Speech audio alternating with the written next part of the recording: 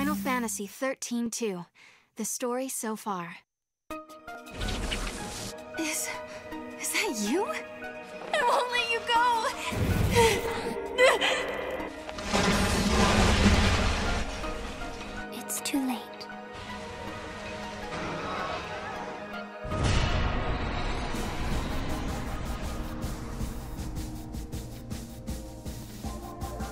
Hey Leute, hier ist wieder HT mit einer weiteren Folge Final Fantasy 13 2. Wieso wir uns jetzt hier treffen? Äh, ich habe in den Kommentarbereichen das gelesen und selber kann ich es nicht fassen, dass ich das übersehen habe. Äh, wir, machen, wir machen uns jetzt auf den Weg und holen uns die Karte von Academia. Das ist ein bisschen Backtracking, aber äh, so wild ist das nicht. Das schaffen wir schon. Es sind jetzt angenehme 17 Grad, vielleicht auch 16. Äh, die Luft ist ein bisschen feucht, aber diese, die Situation, in der ich jetzt hier aufnehme, ist viel besser als die vorherige und die, und die davor. Wo ich nach fünf Minuten schon aufgehört habe. Das habt ihr ja leider nicht gesehen. Wir werden jetzt ein bisschen kämpfen müssen. Haben 3700, 3700 Kristallpunkte. Was verändern müssen wir noch nicht. Ah, wir können hier ein bisschen quatschen. Worüber ich gern quatschen will, ist, ähm, im Part 62 äh, habe ich ähm, sehr viel Negatives über den, den, den einen Spieler da geäußert. Und zwar Chris G. Ups. Das war, also ich finde, das war ziemlich viel Negatives. Man sollte auch etwas Gutes sagen, äh, über etwas Gutes sagen. Ähm, aber nicht, dass ihr mich jetzt als Hater oder so seht. So ist das nicht. Was, was mir nur Gutes zu, zu ihm einfällt, ist eigentlich nur, dass er weiß, wie diese Zoning-Strategie funktioniert. Ich bin jetzt, ich freue mich nicht darüber, dass er, dass er das macht, weil ich diese Strategie nicht abkann, aber er, er, er weiß, wie das geht. Ah, um das noch also x Parasiten habe ich. Ich glaube, es funktioniert. Oh doch, hat funktioniert. So, damit ihr wisst, dass ich kein Hater bin, äh, wenn ihr meine Brawl-Episoden gesehen habt, seht ihr ja, dass mein Kumpel Schlange, der der ist so ähnlich. Also er, er, er weiß aber auch, dass das mein Kryptonit ist. Er weiß, dass äh, er benutzt, wenn er, er benutzt Pit und dann kommt er mit diesem ja und den Pfeilen und permanent. Er versucht mich mental fertig zu machen und das schafft er dann auch irgendwie, aber dann versuche ich es auch bei ihm. Also, und das heißt jetzt nicht, dass ich ihn hasse. Er ist ein Kumpel und äh, während wir dann spielen, äh, passiert es dann halt, dass er, dass er versucht, so mich zu besiegen. Es ist ja nicht äh, alles nur alles nur geballte Power.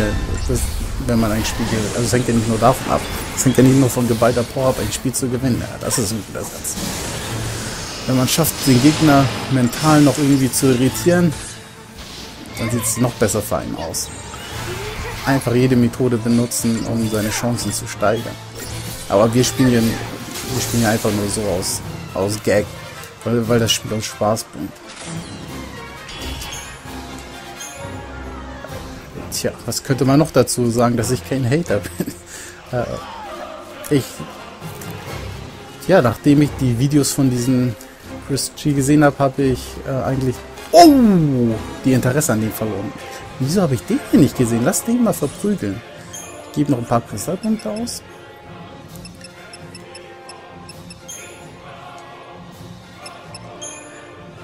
Ich, ich hasse seine Strategie, aber das hatte ja nichts mit ihm zu tun. Das hatte erst mit ihm zu tun, als ich gesehen habe, dass der äh, arrogant ist. Ich hoffe, ihr habt die Videos gesehen äh, und gemerkt, dass wenn er am, wenn er verloren hat oder so, er wollte, dass er nicht mal freiwillig die Hand geben wollte, also die Hand schütteln wollte, äh, um den gegenseitigen Respekt zu seinem Gegner zu zeigen. Das ist ein bisschen schwach, aber ich habe ja auch noch gute Sachen gesagt. Ah. Da fällt mir ja noch ein zweiter Typ ein. Wie hieß der nochmal? Filipino Champ. Ja, der, der, der, bei ihm ist es nur äh, die Charaktere, die er benutzt in Ultimate Marvel vs. Capcom 3. Ja, ich weiß, ich nerv euch jetzt damit, aber ja.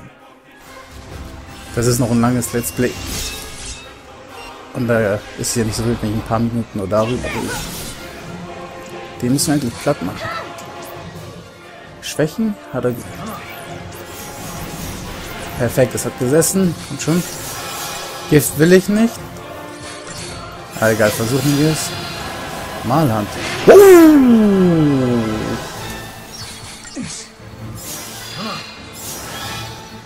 Was ist hier? Okay.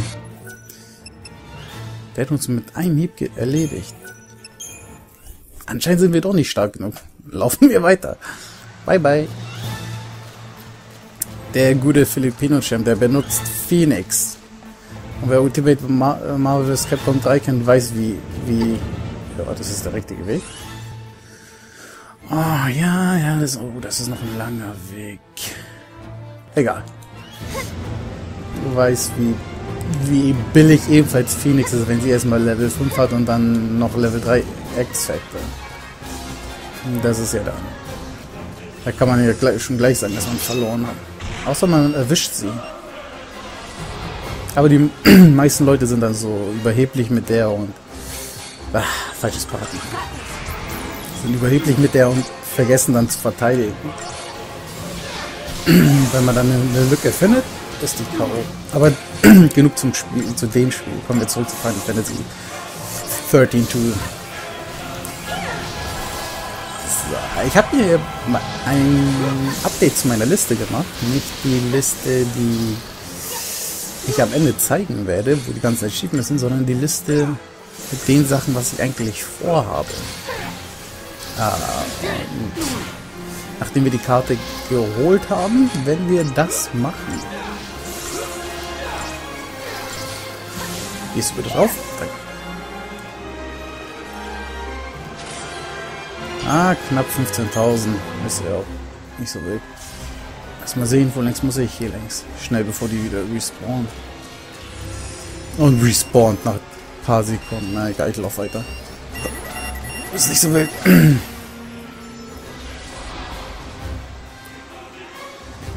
Eine Sache ist gut. Oh, ich habe wieder vergessen, das Paradigma zu wechseln. Egal. Zu der Liste. Die werde jetzt von Zeit zu Zeit immer stärker. Und ich weiß, wo sich alle Mini-Bosse sozusagen befinden. Die haben jetzt zufällig den Kaktor getroffen und seinen Vater den Metallic-Kaktor. Ich weiß auch, wo sich die anderen befinden, aber ich habe eher, ich habe es eher verplant, wie stark die, die jeweiligen Monster sind. Wenn ihr, ihr seht ja jetzt permanent meine Stats. Ich, ich, ich versuche das auch äh, nach, nachzuschauen, aber wenn ihr selber schon wisst, wann ich äh, einen besiegen könnte, so, mit, äh, so dass es eine Challenge, Challenge ist, dann äh, sagt mir einfach Bescheid. Moment mal, war da was? Könnte ich da hin? Ne, da war nichts. Damit es eine Challenge ist, dann äh, schreibt im Kommentarbereich, welchen Boss ihr meint. Und ich mache mich dann auf den Weg zu dem. Oh nee, sag bitte. Komm schon, wo ist das Terminal, dass ich das ändern kann?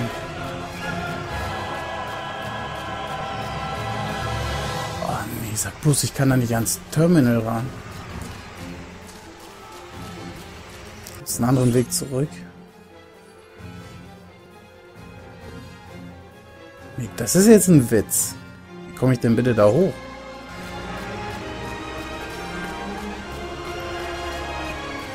Mal gucken. Hier ist nichts.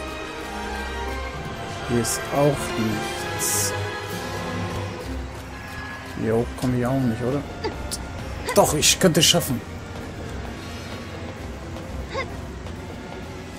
Boulevard. Ach, geschafft. Zum Glück. Wow, da haben sich aber eine Menge versammelt. Ich werde ein bisschen schräg laufen, weil Sarah wie immer 100 Jahre braucht, um ihr Mock zu verwandeln in die Waffe. ich habe irgendwie einen Frosch im Hals. Muss man was trinken. Sorry, wenn ihr das gehört habt. Ja, ich weiß, ich bin im Moment bekloppt, da ich vergesse das Paradigma zu wechseln. Ich glaube, ich müsste jetzt permanent sagen, nur Paradigma, Paradigma, Paradigma, damit ich es nicht vergesse. Oder damit es auch endlich geschieht.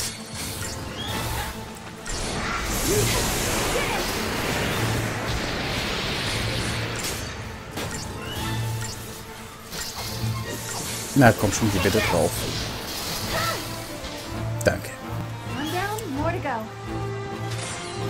Äh, 17.000, das ist genug. Paradigma. Ja, diesmal habe ich es nicht vergessen. Oh! Bevor ich das vergessen habe. Ja, bevor ich das vergesse. Klamottenwechsel. Ah, da wollte jemand den, ba den Badeanzug von Sarah sehen. Warum nicht? Noel, kannst deine Kampftracht anziehen? Ja, die sieht gut aus. Mock, Kasper kann jetzt erstmal weg.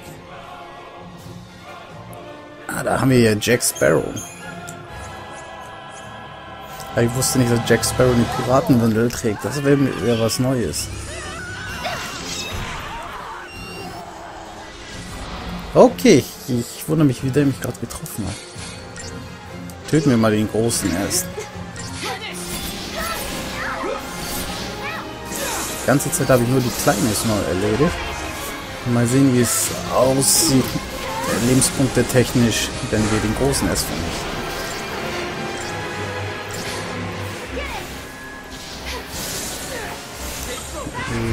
Ja, ich glaube, das ist kein großer Unterschied. Vielleicht wäre es ein Tick schlechter, wenn man die den Großen zuerst bekämpfen will. Ja.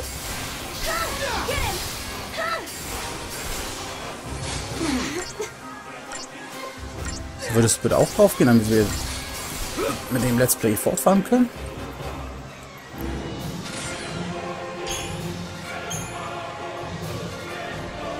Ah, geradeaus weiter, oder? Yes. Wo ist er? Er ist hinter mir. Egal. Er kommt. Nee, das ist er nicht. Ich will so ich will sofort diesen Ort verlassen, nachdem ich die Karte habe. Die letzte Aufnahmesession von mir, die war ja gute knapp drei Stunden lang. Und äh, da ist da ist ein Fehler aufgetaucht in der Aufnahme. Aber den, den habe ich, hab ich behoben. Es hat sehr lange gedauert.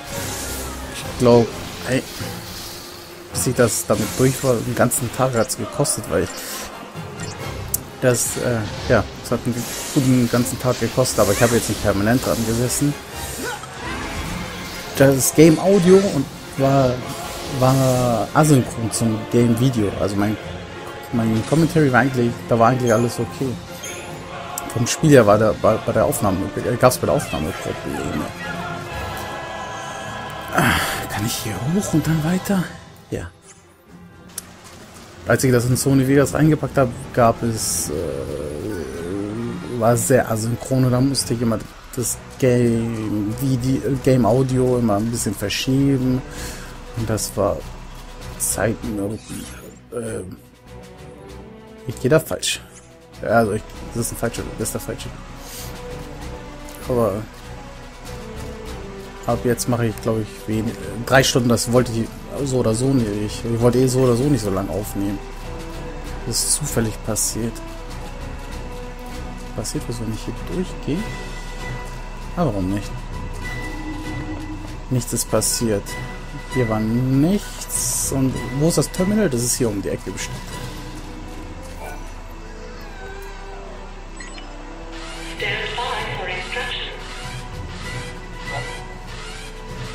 Das Sicherheitssystem von Akademia wurde in diesem Sektor aktiviert. Sicherheitsroboter haben vor den Barrierenstellungen bezogen. Die Barrieren verschwinden, wenn die davor positionierten Roboter besiegt sind. Die Korridore sind stark verzweigt, sodass starke Roboter möglicherweise umgangen werden können. Ja, das haben wir schon längst erledigt.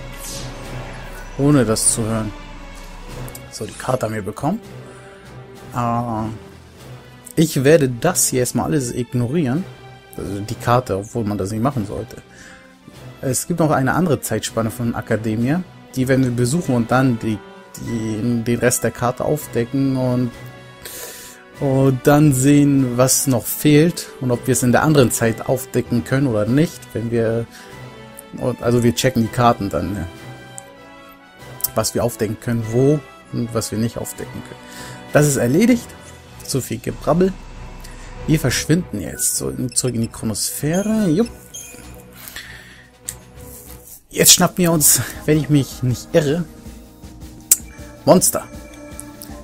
Also wir gehen sie jetzt nicht jagen, äh, um Kämpfe, um Kämpfe, um zu also um sie bei Kämpfen zu erhalten, sondern wir gehen jetzt los und finden sie mit unserem Mock.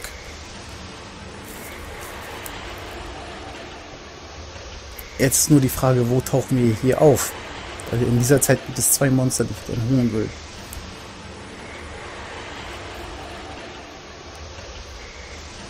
Na komm schon. Ah, wenn es so lange lädt, trinke ich noch was.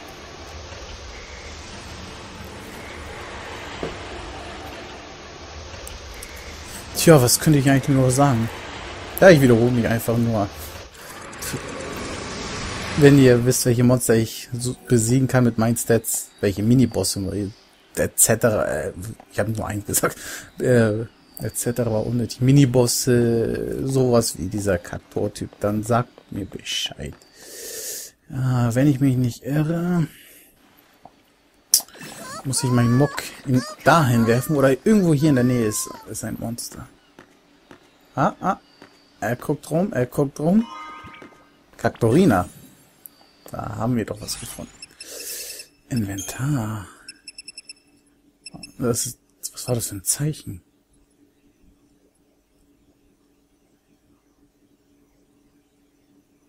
Das war ein Monster. Oh. Monsterkristalle da. Kaktorina. Was für ein Monster ist das? Eine Heilerin. Aha, da haben wir doch mal was Neues. Genug Schauderkugeln, um, um sie hier zu leveln. Höchstwahrscheinlich... Ja, ich weiß nicht. Sie hat nur Engel und Aufmuntern. Aufmuntern wird wahrscheinlich mehr Trefferpunkte sein, wenn man Engel benutzt. Äh, lass mal sehen, unseren Heiler, diesen Kate. Was hat er drauf? Vidra Vita. Oh, wir könnten den eigentlich füttern. Ah, er hat auch Aufmuttern und Engel. Nee, ich level ihn nicht. Noch nicht. So, Gisarkraut haben wir mehr als genug. Wir nehmen das Chocobo, damit ich euch eine Menge äh, Zeit erspare. Damit wir eine Menge Zeit sparen. Und was wir noch machen können...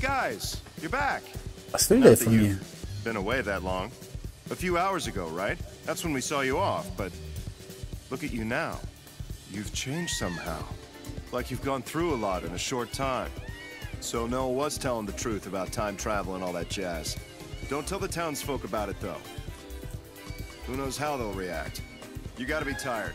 Go home, get some rest. Benny, ich bin doch hier gewesen, nachdem ich die Zeit verlassen habe. Also ich bin doch direkt wieder zurückgekehrt. Ja, wie dem auch sei, nur ein bisschen mit uns gequatscht. Das nehmen wir ihn nicht übel. So, aber das, ich wollte das hier checken. Dieses Fragment hier, ähm, das werde ich nicht holen, obwohl ich jetzt eigentlich hier runtersteigen könnte und das holen könnte. Äh, also ich werde es nicht holen, das wird zu einer das wird später zu, zu der Story gehören. Also es muss geholt werden. Und wenn das soweit ist, äh, hole ich, hole ich das dann. Also man braucht dann, um bei das, um in der Story weiterzukommen, mehrere Fra bestimmte, bestimmte Fragmente. Diese hole hol ich dann, wenn es soweit ist. Einschließlich dem hier. Hey Leute, hier ist nochmal euer HD. Ich hoffe, ihr habt Spaß an meinen Videos und dass sie euch weiterhelfen, wenn ihr die Spiele selber spielt. Falls ihr mich und meinen Kanal unterstützen wollt, verpasst den Videos einen Daumen hoch und um den Anschluss nicht zu versäumen, haut mir noch ein Abo rein, damit ihr bei mir immer auf dem neuesten Stand seid. Dies benötigt nur ein paar Sekunden eurer Zeit, aber es hilft mir und meinem Kanal gewaltig. Ich wünsche euch noch einen tollen Tag und wir sehen uns dann im nächsten Part wieder.